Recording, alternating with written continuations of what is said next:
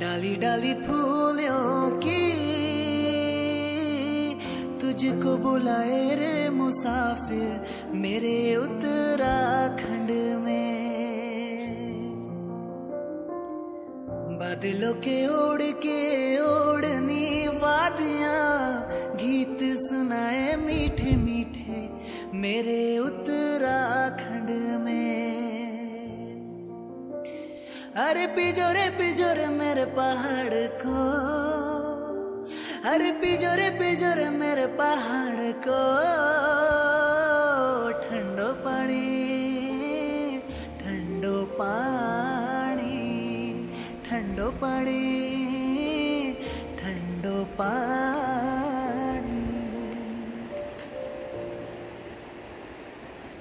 सबसे पहले आप सभी को मेरा प्यार भरा नमस्ते। मेरा नाम है मनीषा बजवाल और स्वागत है आप सभी का मेरे यूट्यूब चैनल में देवभूमि उत्तराखंड के इन खूबसूरत सी वादियों से।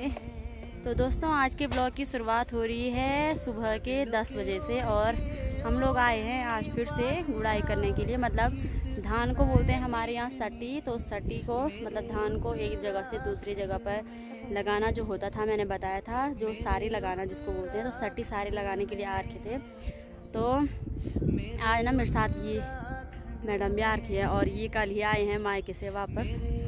तो सब लोग लगे हुए हैं और आज दीदी भी आई है साथ में तो बहुत जल्दी जल्दी निपट गया ये वाला काम। तो सट्टी सारी लगाने वाला जो काम था, वो हम लोगों ने आज पूरा कर लिया है।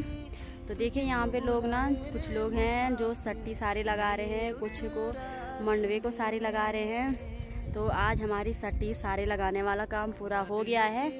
तो कल से हम लोग भी जाएँगे उस साइड उस साइड है मंडवे की सार और इस साइड है धान की सार। मतलब उस साइड मंडवा बोया जाता है और इस साइड धान बोया जाता है इस बार ही।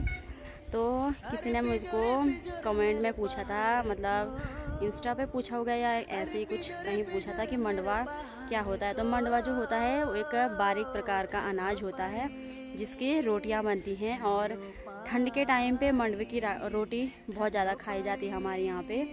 तो फ़िलहाल चलते हैं दूसरे खेत में कि धान वाला जो काम है, वो पूरा हो गया है, लेकिन ऊपर जो गाँव में हमारा पुराना वाला मकान है तो उसके आगे पीछे हमें झंगोरे की गुड़ाई करनी है। झंगोरे को भी सारी लगाना है। तो चलिए बने रहिए मेरे ब्लॉग में और इन्जॉय कीजिए आज के मेरे इस ब्लॉग को। बादलों के ओढ़ के ओढ़नी वादियाँ, गीत सुनाए मीठे मीठे मेरे उत्तराखंड में। मेरे उत्तराखंड में, मेरे उत्तराखंड में, मेरे उत्तराखंड में।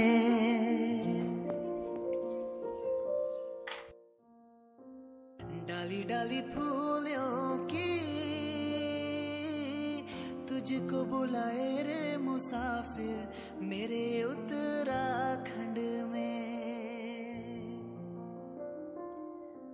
बादलों के ओढ़ के ओढ़नी वादियाँ गीत सुनाए मीठे मीठे मेरे उत्तराखंड में।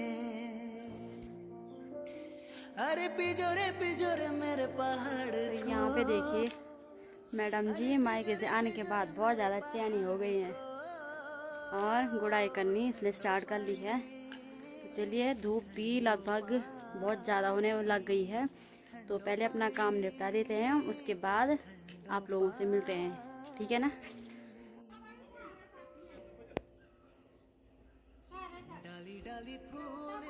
की तुझको बुलाए रे मुसाफिर मेरे उत्तराखंड में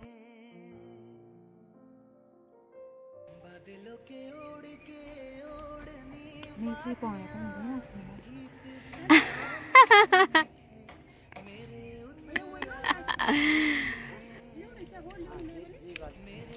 तो दोस्तों, ये देखिए, आज पहली बार हम लोग खा रहे हैं खेत में आइसक्रीम। और ये कह रही है, मैं रही है काश हमेशा आइसक्रीम खाने का मौका मिल जाए खेतों में तो मज़ा आ जाए। इसके लिए हमेशा आइसक्रीम लेकर आना भाई कोई खेत में।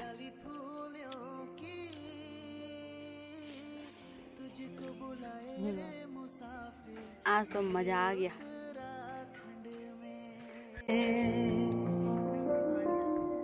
बादलों के ओढ़ के ओढ़नी वादियाँ गीत सुनाए मीठे मीठे मेरे उतरा।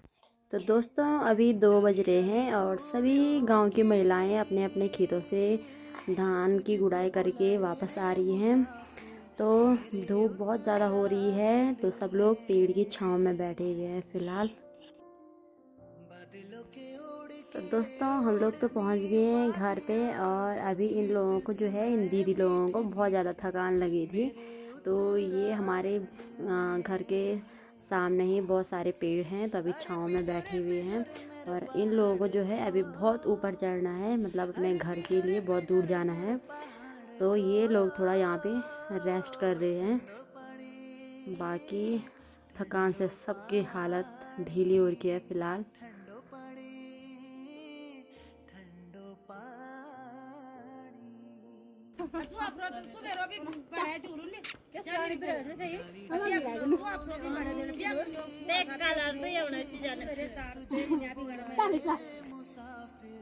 मेरे